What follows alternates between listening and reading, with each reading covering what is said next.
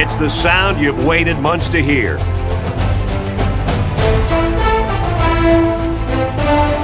Its images are some of your oldest memories.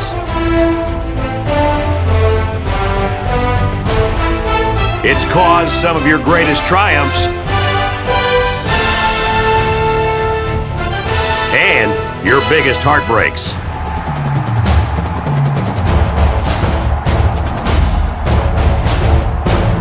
This is college football.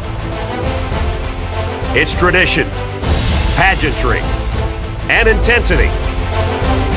You can visit every school in the country and never see the same thing twice. This is what makes college football special. This is why your school is more than who you root for. It's who you are.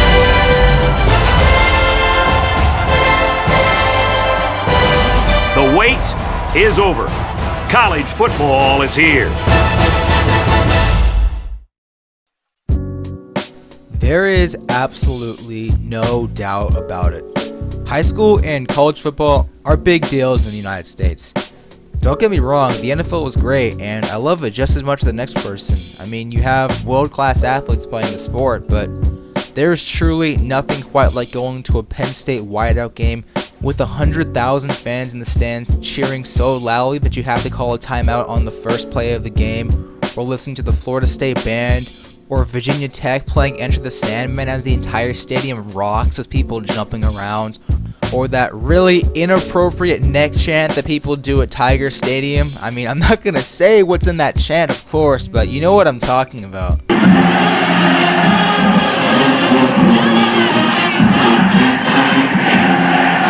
And I mean, of course, you also have Gus Johnson losing his mind after a big hit. Wartenschlager to the sideline, caught first down. Woo! What a hit! Denzel Ward!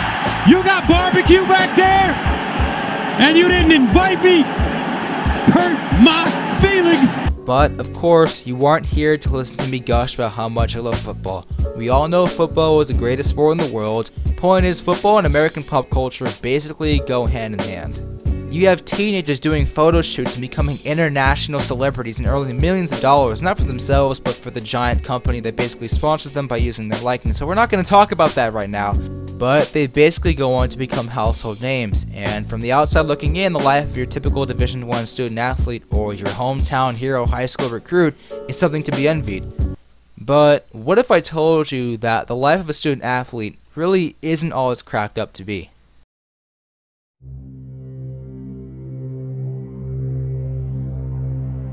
A human being will get concussed at 60 Gs. A common head to head contact on a football field? 100 Gs. God did not intend for us to play football. A star quarterback for Washington State. Nowitzki has time. Pass complete. A beloved son, brother, and friend. In a documentary for Sports Illustrated, Tyler Hilinski's parents say no one knew there was something terribly wrong. Hilinski's brain showed signs of CTE, the brain disease multiple studies have linked to repetitive blows to the head. Several former NFL stars who suffered from the disease took their own lives as well.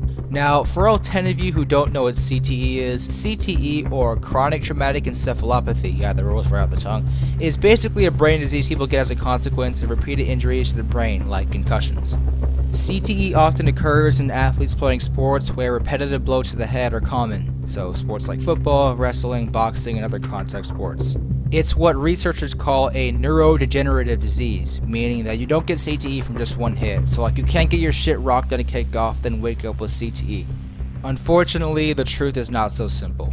CTE is something that accumulates over years and in some cases even decades of brain trauma. Symptoms of CTE include things like mood swings, problems with cognitive thinking, violent tendencies, dementia, speech impediments, and as of now, there is research that shows a potential causal relationship between football, CTE, and suicide. In reality, things are not nearly as easy as they seem. And there are a myriad of things that football players have to go through, but I think the one everybody knows about the most is CTE. According to a study in the Journal of American Medical Association, they found that a staggering 91% of deceased college football players had CTE. Among high schoolers, this was 21%. In a different study, the Mayo Clinic did a random review of their brain bank, and of the 15 brains that belonged to college football players, 10 of them had CTE. Unfortunately, CTE is something that can only be diagnosed after the player is deceased, and that's the problem. We can never know if somebody has CTE until after they're dead. As many of you already know, CTE is a major problem among football players, but what if I were to tell you that CTE is just one of the many problems that student athletes face? One of the most famous articles discussing the realities of college athletics is a piece made by Taylor Branch titled The Shame of College Sports. Branch compares college athletics to literally, quote, selling your soul, and she draws multiple comparisons to gladiatorial combat and even slavery. Over the course of this mini documentary, which definitely is not for my English 282 class, I will be discussing the sociological impacts of football on student athletes. Yeah, I know, that rolls right off the tongue, doesn't it?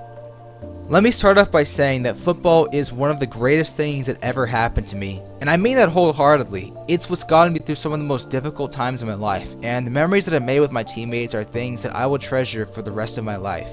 It's taught me humility, teamwork, dedication. All of these are skills that are absolutely pivotal in overcoming adversity, and it's what's turned me into the man I am today.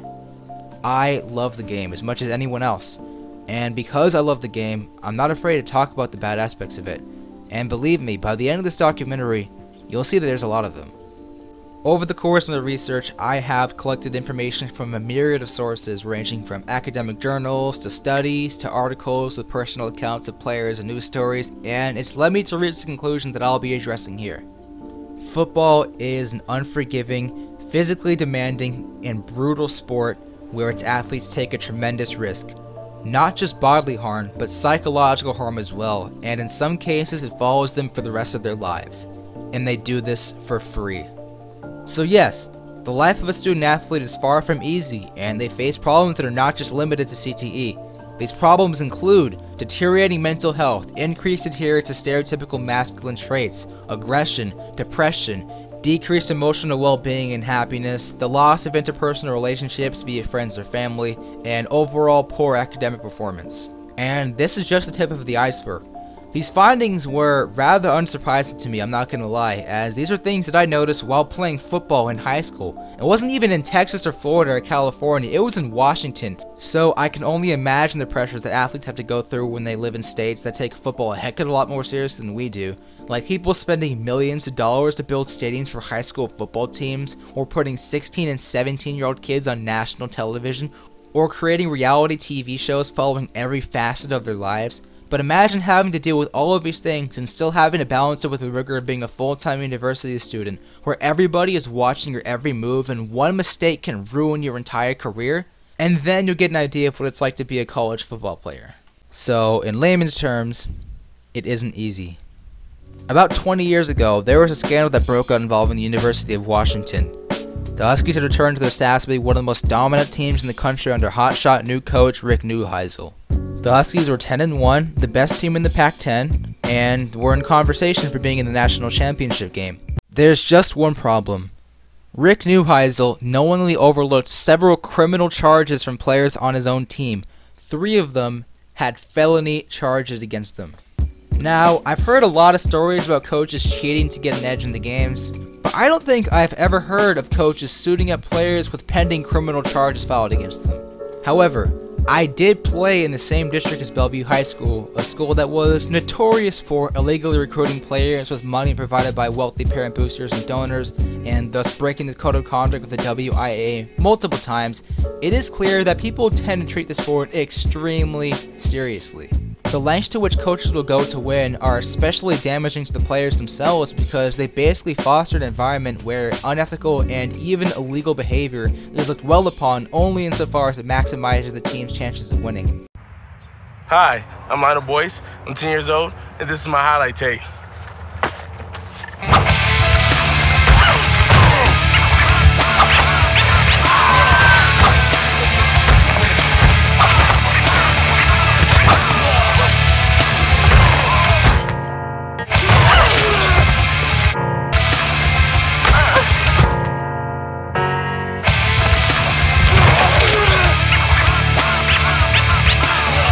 Alright, we're going to play a game. I have a challenge for you. I'm going to show you some pictures, and I want you to guess which one is a Division 1 football player.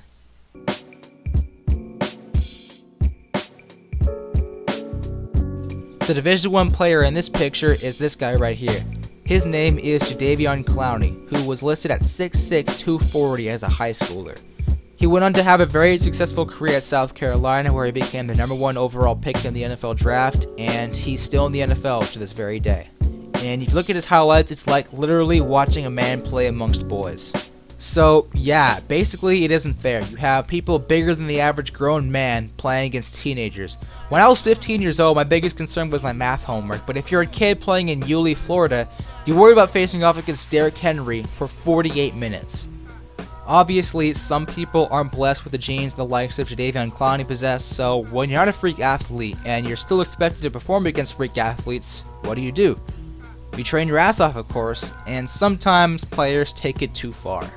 We all know the stories of NFL players taking steroids and Adderall to supplement their game performance, but according to Katherine Head in her study Understanding the Psychological Influences on High School Football Players' Weight Gain Behaviors, yeah, also rolls out the tongue, People have been engaging in unhealthy habits as young as 14 years old. In some cases, it's not unrealistic to assume that it starts even younger than that. This incentive to start at a very early age stems from somewhere, and as Tom Ferry puts it in his book How the Pressure to Win at All Costs Endangers Youth Sports, he discusses how even upon entering high school, student athletes are entering with this win no matter what mentality that is fostered by years of playing youth sports. I'm not even talking about going to the wet room, drinking protein shakes, and stocking up on carbs and meat. I'm talking about stuff like gorging on food to gain weight, starving yourself to lose weight, overexerting yourself and not drinking water, and just all around things that kids around that age probably should not be doing. Head study found that players are pressured into doing these things either by other teammates, their coaches, their friends, third party organizations, and even their own parents. You might not have played football, but how many of you have been pressured into doing something that you don't want to do because your parents made you? I'm not talking about doing chores or making your bed, we all do that, but I'm talking about parents picking your college for you, your major for you, your career for you, your friends for you, and trying to live their entire lives through you. It isn't fun, right? This incredibly destructive practice follows these players throughout their entire careers, and it is, as Head put it, very indicative of the quote, various ways cultural norms of football are maintained and reinforced through communication and the psychosocial influences on adolescent football players' weight gain behaviors. But understand this this is just high school football. When you hit college, you're technically there for your talent, right? So you might be less horrifically undermatched. So, like, you're not going to be a 5'9, 160 pound high school kid trying to tackle Derrick Henry. Instead, you're going to be a college football player who now has to balance spending upwards of 20 hours a week at the minimum on football, be a full-time university student, and still be expected to tackle Derrick Henry, but now you're expected to do so in front of 70,000 people on national television. In college, the expectations are way higher and the stakes are way higher, and no one is going to be there to hold your hand. You're going to be in classes with up to 300 people, and frankly, none of those professors that you see every day could give two shits about whether or not you failed their class or drop out. In a sport where you can be on the wrong side of an ESPN highlight reel and forever have your reputation as a football player tarnished with one mistake on one play, it's a lot of pressure for a kid to deal with. Because of this, it's not unreasonable to assume that any one of these factors could play at least some influence in why you have a subculture where its athletes graduate less, perform worse on math and reading tests, have lower cognitive development, cluster in majors, and are, quote, socially segregated from the general population, as Joy Gales put it in the student athlete experience, and as a consequence, resort to stuff like substance abuse.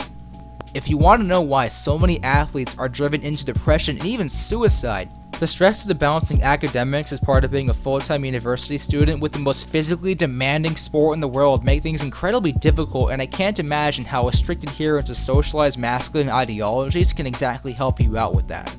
And according to Andy Walsh in his study Factors Relating to College Football Players' Conformity to Traditional Masculine Norms, he found that when surveying 110 male athletes, it's in fact made worse by the fact that because of this strict adherence, male athletes are actually less likely to seek psychiatric help. Not only that, but as Uma Jayakumar went over in the cultural cover-up of college athletics, where she interviewed 20 athletes and stakeholders in Division One NCAA athletics, they openly admitted that the NCAA goes out of its way to create a quote cultural cover-up imposed by an idealized image of achieving academic excellence and athletics that masks inadequate organizational support towards academic success. For college students, there are 731 social work programs, but none of them offer academic support to student athletes. In other words, this supposed emphasis on the NCAA prioritizing mental health and balancing academics with college athletics is a farce. If the NCAA actually cared about the well being of its athletes, more action would be taken to aid them in doing so. But there isn't. Why? The NCAA became a multi billion dollar corporation because its athletes play football not because of anything else. Football has been just, sorry, has been a blessing in my life. You don't understand how tight us 21 seniors were together and how fortunate I am to have him as a coach. And the wins and losses don't don't don't define me, don't define my team.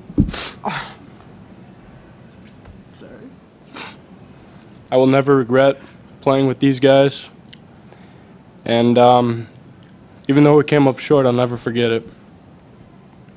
It's the, it's the bus rides, the practices, the team meals. I mean, you only play what 12 games in a season.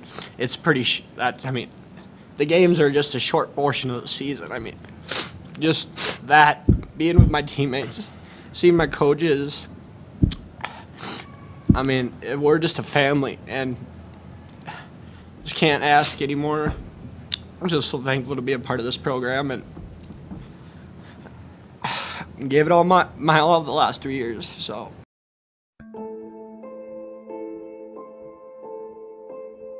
To anyone who doesn't watch football or is just a casual fan of the sport, these findings might shock you. But if you know football inside and out, or you've even played it before, as sad as it might sound, it should not surprise you at all. Perhaps you've even experienced these things. Despite all these problems, however, there still remains a certain beauty with the subculture, and it's a beauty that can't be found in any other sport. It's a subculture filled with people that build bonds with each other over the course of years of friendship, teamwork, and rigorous physical activities that necessitate you working together towards a common goal. As somebody who played football throughout high school with the same people that I had played with since 5th grade, I gotta tell you, a lot of people don't like the time it takes up and how much of a commitment it is. But I couldn't say that for myself. You have to love what you do to make it worth it. And I think that's what's most important. Waking up at 6 o'clock in the morning for morning lifts with your teammates, or almost passing out from exhaustion from two days in the summer. And to that extent, even for all of its flaws and problems, I still love football. Football is one of the greatest things that has ever happened to me. And I'm proud to be in a subculture full of people who knows what it's like to leave for school at 6 o'clock in the morning and come back at 6 o'clock at night. Or stay up late watching game film instead of studying for the test you have the next day. Or share a laugh with your teammates as you step in the cold water of that ice bath for the first time. Or make those really terrible drum beats at the lunch table during team dinner. Or running out onto the field for the very last time beneath the Friday night lights.